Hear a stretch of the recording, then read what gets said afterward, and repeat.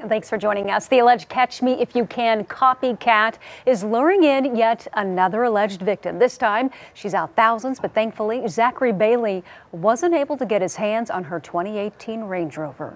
A case federal agents are now looking into. News 4's Kaylee Olivas is back on the story tonight.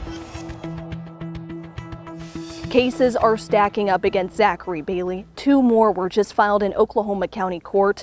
Meanwhile, up here in Osage County, another one is about to be filed by a mom who says she was conned out of thousands of dollars. he got me.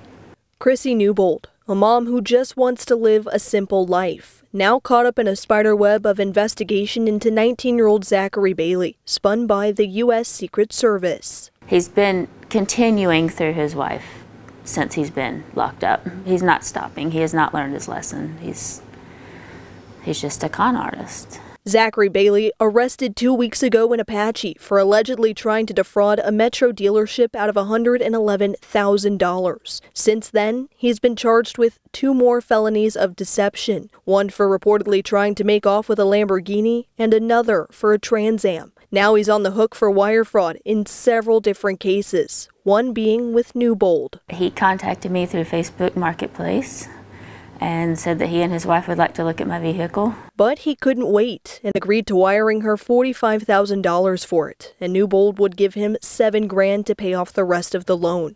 It was pending on Wells Fargo until the next morning, and Friday morning it showed there was a zero balance and the account was closed.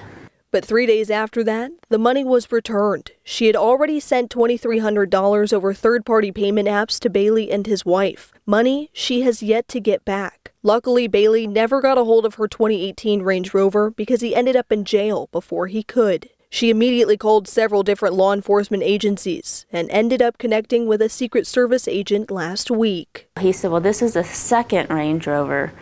You're the second Range Rover victim that's going on right now. That agent allegedly telling Newbold they're also looking into Bailey's 16 year old wife and 74 year old father. But she says she wants to continue burying this family in charges, so she'll be pursuing legal action soon. We're making contact with Secret Service to see if they're going to handle the entire case or if we're going to go ahead and prepare an affidavit and seek charges in state court for the for the fraud here. In Osage County, Kaylee Olivas, Oklahoma's News 4. Bailey is still locked up in the Oklahoma County Jail this afternoon. He did call our reporter, Kaylee Olivas, last night, but he did not leave a voicemail and has not called back today.